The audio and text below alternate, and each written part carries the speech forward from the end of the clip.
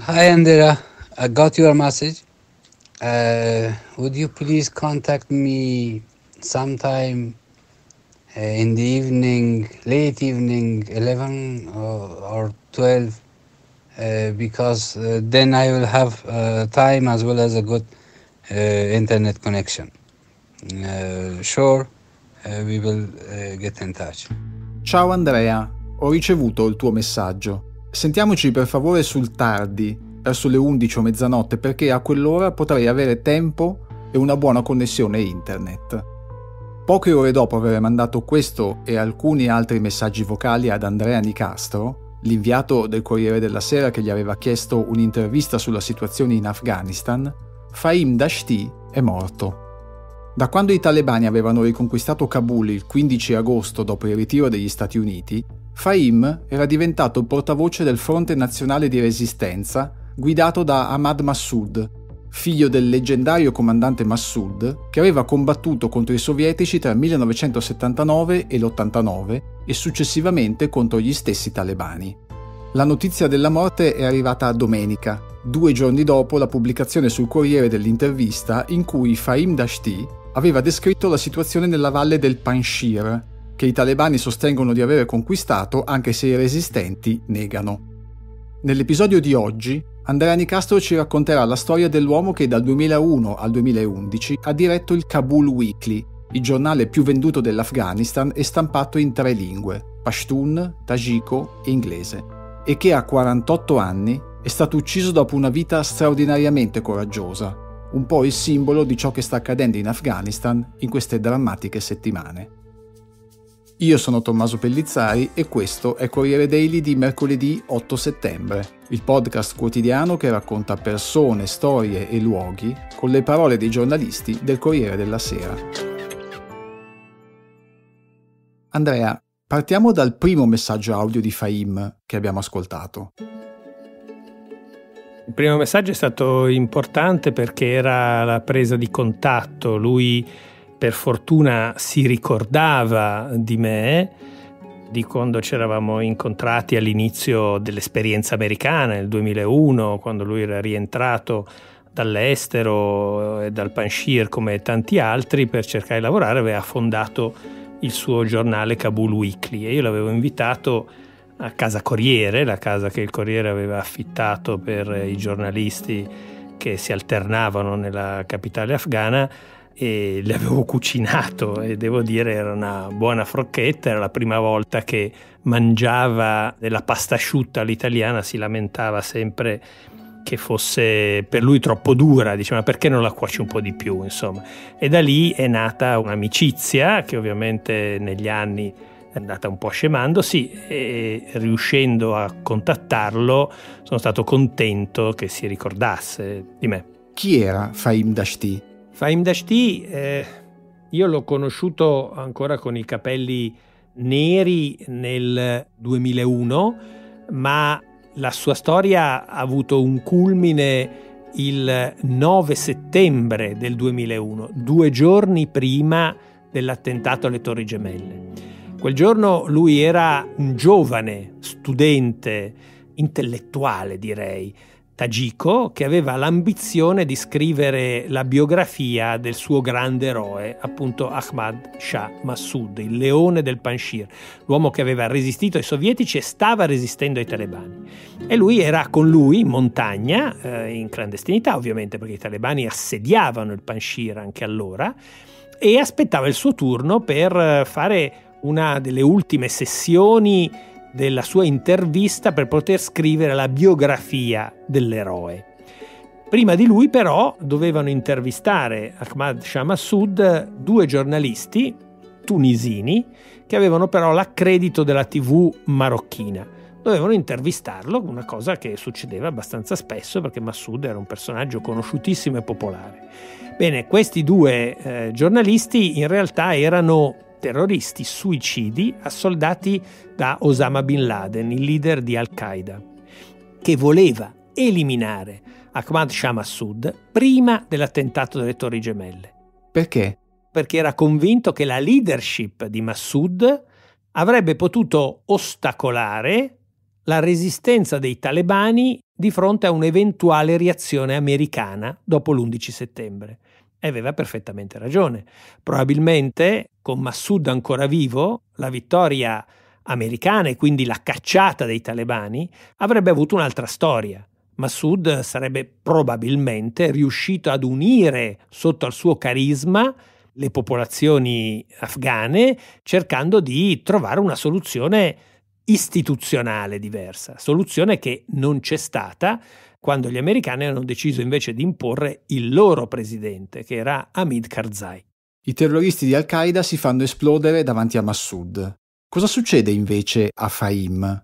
Fahim è nella stessa stanza, ascolta perché non vuole perdere una parola, quindi anche lui prende appunti rispetto a quello che avrebbe potuto dire Massoud ai finti giornalisti tunisini, ma quando la telecamera imbottita di esplosivo deflagra, anche lui viene coinvolto e investito da una fiammata. Deve andare addirittura a Parigi per farsi curare le ustioni, subirà anche degli interventi di chirurgia plastica, ma salva la vita, mentre Massoud lotta per qualche ora e poi muore. Come dicevi prima, tu recuperi il contatto con Fahim Dashti appena inizia il ritiro delle truppe occidentali, quando è chiaro cioè che per i talebani ci vorrà pochissimo per riprendersi l'Afghanistan. La tua intervista con lui esce sul Corriere il 3 settembre, durante l'attacco dei talebani in Panshir, la valle nel nord del paese in cui il Fronte Nazionale di Resistenza, erede di coloro che avevano combattuto l'invasione sovietica nel 79 e poi i talebani, sta provando a fermare l'avanzata degli integralisti. Qual era la situazione in quel momento? All'inizio di agosto di questo 2021, tutte le città capoluogo dell'Afghanistan erano ancora controllate dalle forze del governo fino-americano di Ashraf Ghani, il presidente. È vero, in quel periodo c'erano alcuni distretti, soprattutto nelle campagne, che avevano cambiato schieramento ed erano state conquistate dai talebani. L'idea era che l'esercito afghano, con l'aiuto dell'aviazione americana, riuscisse a mantenere il controllo dei grandi centri. A un certo punto però, proprio circa verso il 5 di agosto, è cominciato a cadere una città nell'occidente dell'Afghanistan, quasi al confine con l'Iran. E da quel momento la caduta è stata rapidissima. I talebani si presentavano alle porte della città con eh, pochissimi miliziani, circa 1000-1500 per ogni città, anche armati in modo leggero perché viaggiavano veloci con le moto, con le automobili, non spostavano neppure in mezzi blindati e dialogavano, trattavano con gli anziani delle diverse città che offrivano come mediatori la resa al governatore, al capo della polizia, al capo della guarnigione. Ebbene, questi esponenti del regime ufficiale, nella stragrande maggioranza dei casi, hanno abbassato le armi, hanno ceduto, hanno accettato di vendere la propria incolumità, magari anche in cambio di denaro, cedendo il controllo della città ai talebani. Qual è la ragione di questa rendevolezza? Perché avevano capito che ormai i giochi erano fatti, ormai l'idea che i talebani dovessero condividere il potere come minimo era stata sancita negli accordi di Doha tra americani e talebani del febbraio 2020. E lì, scritto nero su bianco, i talebani si impegnano a non sparare agli americani durante il ritiro e in cambio dovranno trattare per un governo inclusivo, per un governo di larghe intese con il resto della popolazione, il resto delle componenti dell'Afghanistan. Fino al giorno del ritiro americano, i talebani non avevano mai accettato di trattare col governo legale, col governo riconosciuto internazionalmente di Ashraf Ghani. Quindi tutti hanno pensato, se non l'hanno fatto fino adesso, che c'erano gli americani a proteggerci con l'ombrello dell'aeronautica, perché dovrebbero farlo adesso? Il 15 agosto, dopo la fuga in elicottero del presidente Ashraf Ghani, cade anche Kabul. Quando la notizia si diffonde, i soldati si tolgono l'uniforme, la polizia sparisce dalle strade, chi può scappa e iniziano i giorni dell'assalto all'aeroporto della capitale. A resistere contro i talebani restano in pochi. Chi sono? È una storia antica perché questo è il secondo emirato talebano. Il primo emirato talebano, quello concluso con i bombardamenti americani del 2001, aveva già isolato i suoi oppositori in una piccola zona del nord-est dell'Afghanistan, tra Panjshir e provincia del Badakhshan, che arrivava al confine con eh, lo stato estero Tagikistan, dove si erano ammassati gli oppositori dei talebani. E gli oppositori dei talebani chi sono? Sono le altre etnie che non hanno una vera rappresentanza dentro al movimento talebano, che sono Hazara, una popolazione di origine mongolo-turca e tendenzialmente di religione sciita, che sono Tagiki, che invece è una popolazione iranica che parla una lingua molto simile al persiano, e gli uzbeki, che parlano a loro volta persiano e uzbeko, che si erano asserragliati in questo angolo di paese. Potevano difenderlo perché da una parte avevano la protezione delle montagne di questa famosa valle, la valle del Panshir, e dall'altra avevano la possibilità, attraverso appunto la provincia del Badakhshan, di ricevere aiuti dal Tagikistan. In questo modo Fort Alamo, la ridotta montagnosa del Panshir, poteva essere rifornita dall'esterno.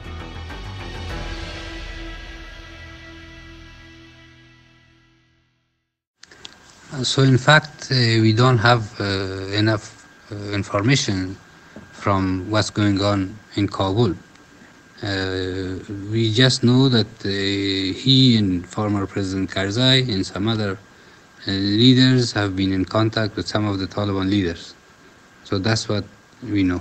Questa è di nuovo la voce di Faim Dashti. Che cosa ti sta dicendo in questo messaggio?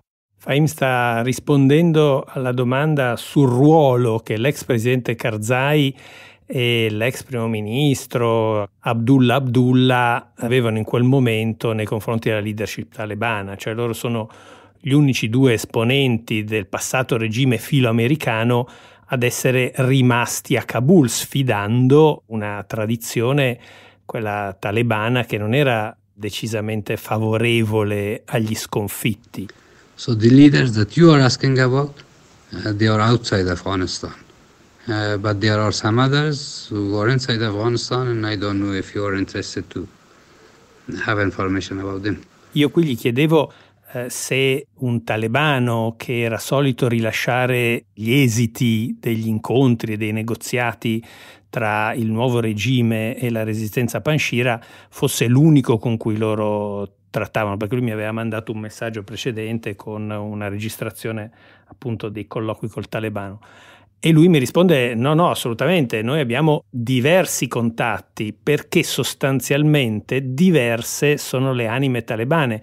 Una era quella del talebano che parlava, come dice Afaim, al telefono, ma poi ci sono state degli incontri faccia a faccia con delegazioni d'alto livello e altri contatti con altri leader.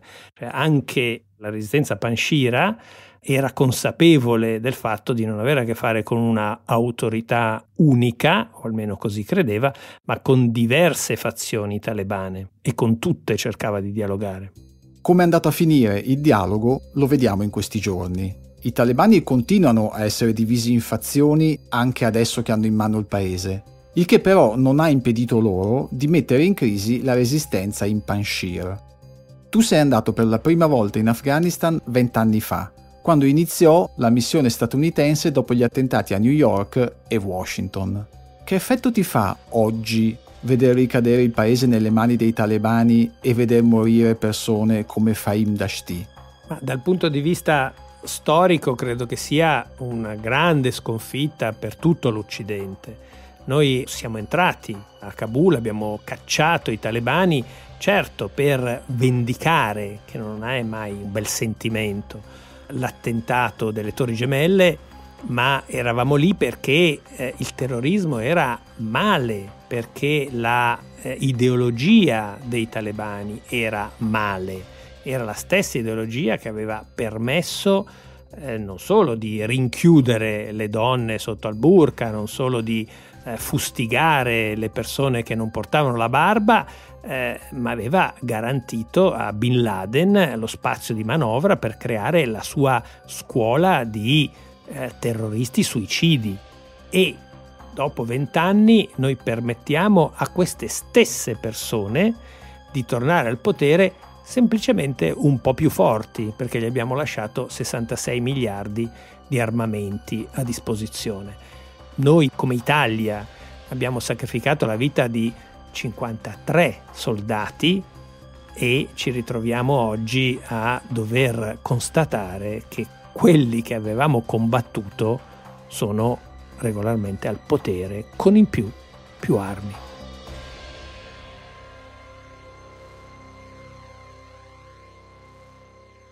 Grazie Andrea Nicastro. Oggi finiamo qui. Per altri approfondimenti, nel sommario di questo episodio potete trovare i link agli articoli di Corriere.it. Se volete scriverci, mandate una mail a corrieredaily-rcs.it. Corriere Daily torna domani.